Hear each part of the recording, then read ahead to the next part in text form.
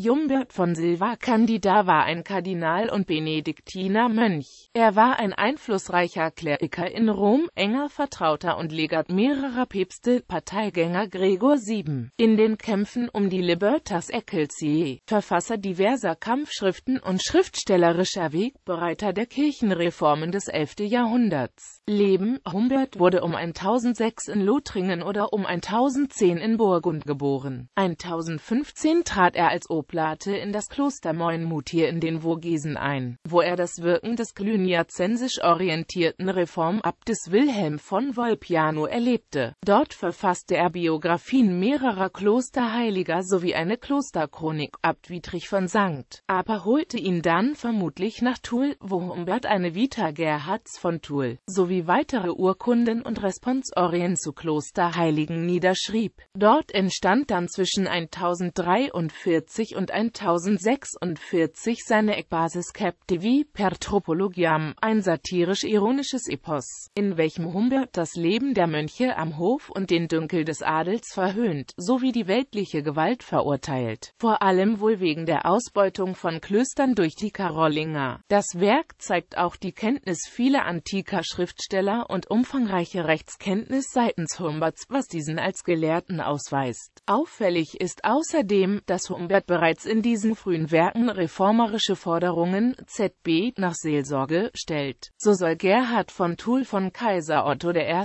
eine freie Bischofswahl erreicht haben, die nicht einmal von diesem bestätigt zu werden brauchte. In diesem Zeitraum fällt wohl auch die Strafrede Humberts an seine Mitmönche, in der er sich darüber beklagt, dass diese sich nicht darum kümmern würden, was sie Gott oder dem Nächsten schuldeten. Bischof Bruno von Toul ernannte Humbert zu seinem Sekretär, in diesem Amt stellte dieser ihm zahlreiche Wechselgesänge zusammen. Nachdem Bruno zum Papst gewählt worden war, nahm er Humbert als erklärten Vertreter der cluniazensischen Reformbewegung 1049 mit sich nach Rom. Ein Jahr später ernannte Leo IX. ihn zum Titularerzbischof von Sizilien, das damals unter arabischer Herrschaft und der Oberhoheit des byzantinischen Kaisers stand, somit also in das Patriarchat von Konstantinopel fiel damit verfolgte Leo IX. wohl vor allem politische Interessen, indem er so entsprechend der konstantinischen Schenkung Besitzansprüche auf Süditalien und Sizilien erhob.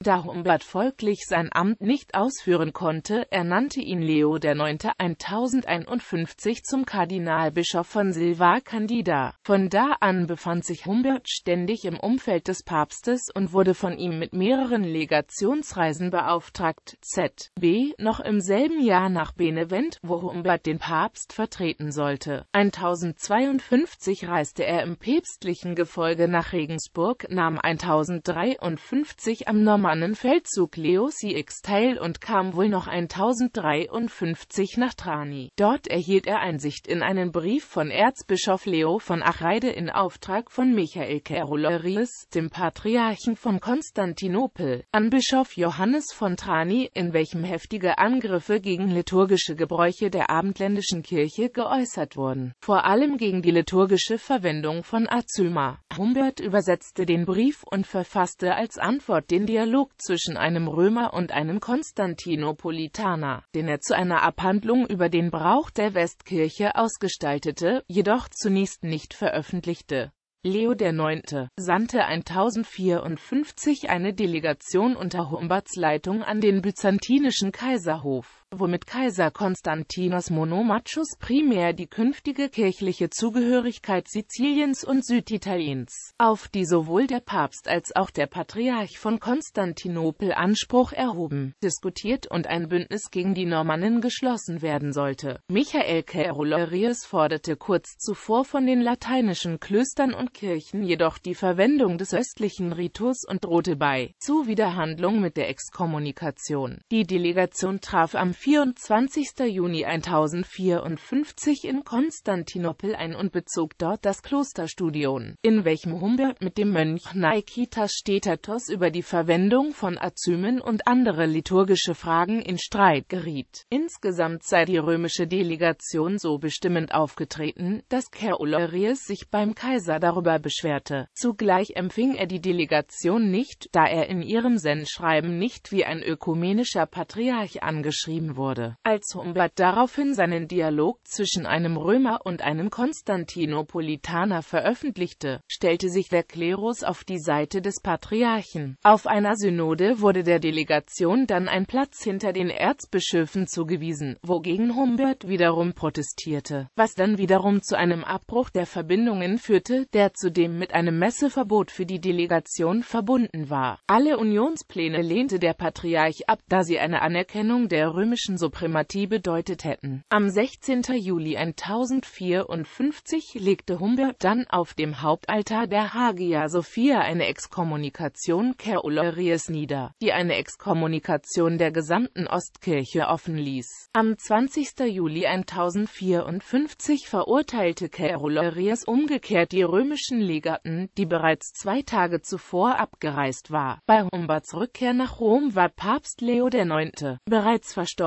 Humbert nahm dennoch die Position eines päpstlichen Kanzlers und Bibliothekars und somit eine Schlüsselstelle der päpstlichen Verwaltung ein. In dieser Zeit verfasste er vermutlich sein erstes Buch gegen die Simonisten sowie zahlreiche Bullen und Briefe. 1056 begleitete er Viktor II. nach Deutschland und 1057 reiste er als dessen Legat in das Kloster Monte Cassino, um dort die Einführung des frei gewählten Abtes zu verhindern. Als die Mönche gegen ihn rebellierten, trat der Abt freiwillig zurück, woraufhin Friedrich von Lothringen nach dem Willen Viktors II diesen Posten übernahm. Als Viktor II 1057 starb, wurde Humbert von Friedrich von Lothringen und Hildebrand als Papst vorgeschlagen. Dieser ließ jedoch Friedrich von Lothringen wählen und behielt damit seine bisherige Position bei. Friedrich starb jedoch bereits ein Jahr später, woraufhin der römische Adel den Tusculaner Benedikt X zum Kirchenhaupt erhob. Vor ihm musste Humbert nach Monte Cassino fliehen, wo er entsprechend dem Testament Stephans X die Satrius als Abt einsetzte. Hier fasste er vermutlich dann auch das zweite und dritte Buch gegen die Simonisten ab.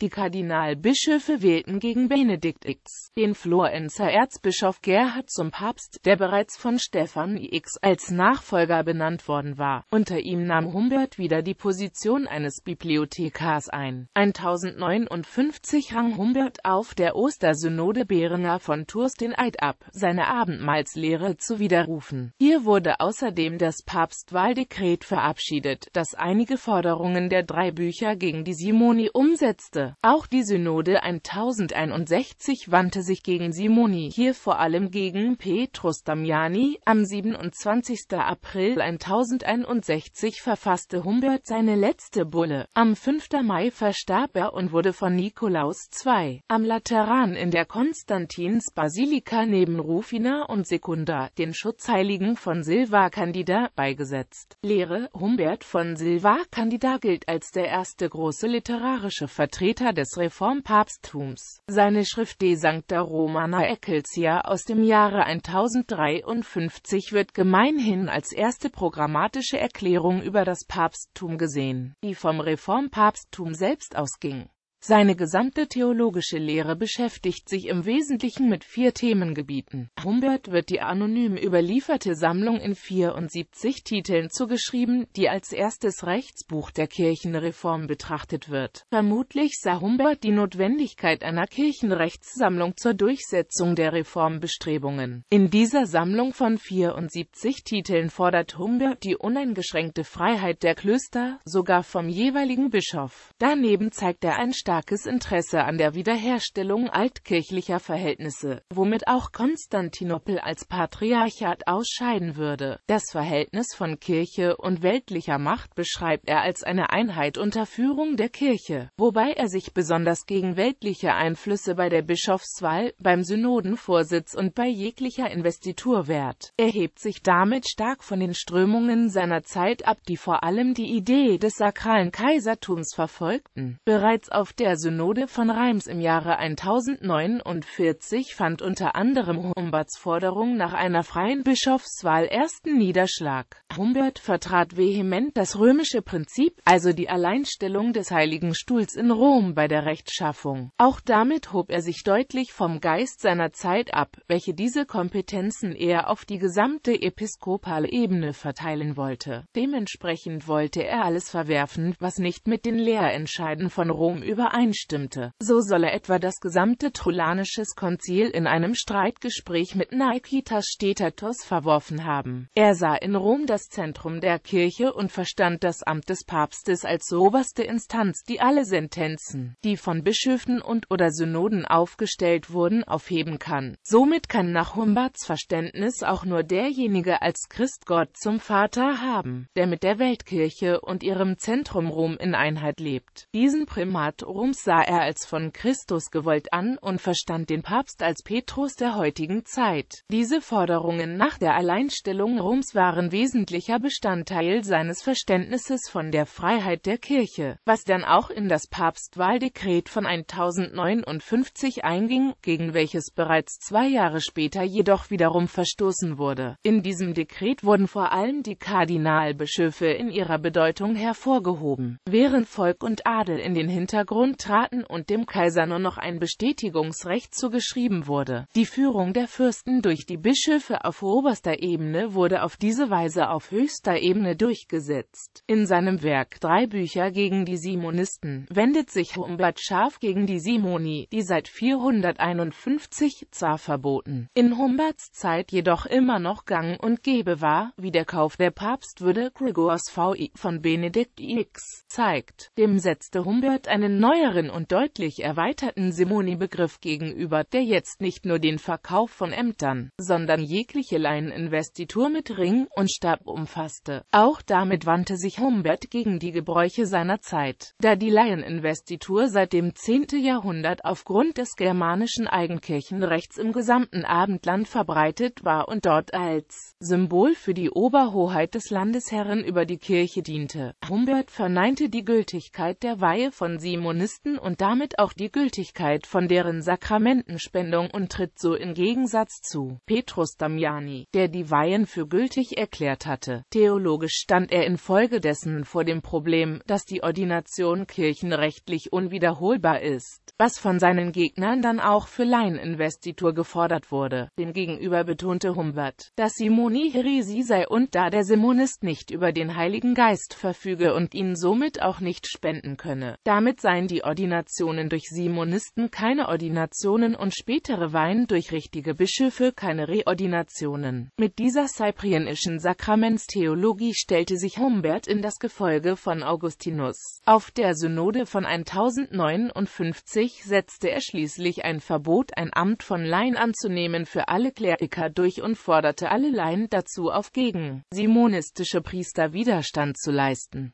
Die Ostersynode von 1060 bestätigte dieses Verbot nochmals. Aufgrund konkreter Streitigkeiten bezog Humbert auch zur Abendmahlslehre Stellung. Hintergrund dieser Streitigkeiten war, dass sich in der westlichen Kirche im Laufe des 9. Jahrhunderts vor allem Azyma für den liturgischen Gebrauch durchsetzte, während die östliche Kirche weiterhin Prozymum verwendete. Da die Ostkirche die Liturgie generell dogmatischer interpretiert, entwickelte sich dieser Unterschied zu einem Streitpunkt zwischen den beiden Kirchenteilen. Die Ostkirche betonte, dass Azyma typisch jüdisch sein und sich die Christen gerade durch die Verwendung von Prozymum von den Juden unterscheiden. Daraus entstand für Humbert die Aufgabe, den Gebrauch von Azyma theologisch zu begründen. Dies gelang ihm, indem er exegetisch feststellte, dass Sauerteig gerade als Symbol für Unreinheit gelte. Generell betont er in diesem Zusammenhang, dass zwischen Altem und Neuem Testament ein eine Einheit bestehe, wenngleich das Neue Testament das Alte überhöhte. Dennoch erkannte Humbert den Herrenleib im gesäuerten Brot an, das er bei der Exkommunikation Kerulerius diesen als Prozymiten bezeichnet hatte. Wird eher dahingehend gedeutet, dass Humbert damit die Unterscheidung von Rom betonen wollte. Sein Abendmahlsverständnis entwickelte Humbert dann im Streit gegen Berenger von Tours, der konsekrierten Wein und Brot vor allem symbolisch als wahren Leib und wahres Blut Christi Christi verstand. Demgegenüber postulierte Humbert, da damals die Transsubstantiationslehre noch nicht dogmatisch formuliert war, die substanzielle Gegenwart des Leibes und Blutes, ohne dies weiter zu erklären. Auffällig ist auch, dass Humbert hier, lange Zeit vor dem Konzil von Trient bereits von sieben Sakramenten spricht und Christus anstelle des Heiligen Geistes in den Mittelpunkt der Abendmahlslehre stellt. Er interpretierte die Abendmahlsfeier dann als Sakrament des Herrenleidens im Sinne eines lebendig machenden Sakraments. Eine umfassende Messopferlehre stellte er dennoch nicht auf. Wirkungsgeschichte vor allem Papst Gregor VII. führte die Reform des Papsttums und der Kirche fort und gründet dabei auf den Gedanken und Schriften Humberts. Der eigentliche Investiturstreit begann zwar erst später, aber Gregors Angriffe gegen Simone und Laieninvestitur 1075 sowie die Aufforderung zum kirchlichen Streik der Laien gegen simonistische Priester entsprechen den Forderungen Humberts. Wesentliche Gedanken Humberts, vor allem zur Petrusmystik, finden sich im Dictatus Papae wieder, das zu einem wesentlichen Element der Lehre vom kirchlichen Lehramt bis hin zum Unfehlbarkeitsdogma wurde. Im Simoni-Streit setzte sich letztendlich die Position Petrus Damianis durch. Simoni blieb zwar weiter verworfen, aber die Ordination durch Simonisten wurde trotzdem anerkannt. Trotzdem hatte es Humbert bleibend erreicht, dass die Sakramentenverwaltung frei von weltlichen Einflüssen wurde. Eine große Wirkungsgeschichte erlebte Humberts Abendmahlslehre Lehre, die zur Grundlage der Abendmahlslehre der gesamten westlichen Kirche im Mittelalter und auf der Lateransynode von 1059 in der Lehre von der Realpräsenz festgehalten wurde. Zugleich legte Humbert die Grundlage für den weiteren Ausbau der kirchlichen Lehre hinsichtlich des Verständnisses vom Brotbrechen und des Verhältnisses von Brot und Wein zur Wahrheit von Leib und Blut. Insbesondere ihre Ausrichtung auf die Heilswirksamkeit verdankt die Abend abendländische Abendmahlslehre Humbert von Silva Candida